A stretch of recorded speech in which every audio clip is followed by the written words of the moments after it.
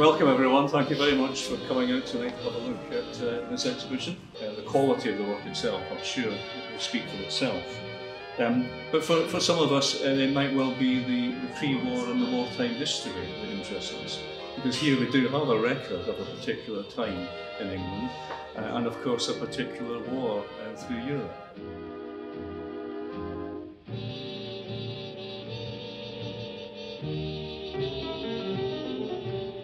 Um, one of his paintings, Jetty at the Faroe Islands, was bought um, by the War Artists Advisory Commission, which was the main body set up during the war to help artists and to make a record of the war, which is why I can genuinely say he was a war artist.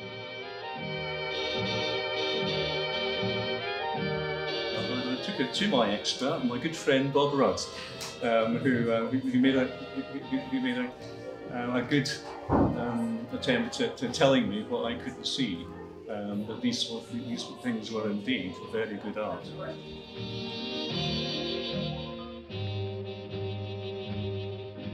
Hubert Lancaster Harcourt, what a fabulous name, um, who I think you'll agree deserves our attention.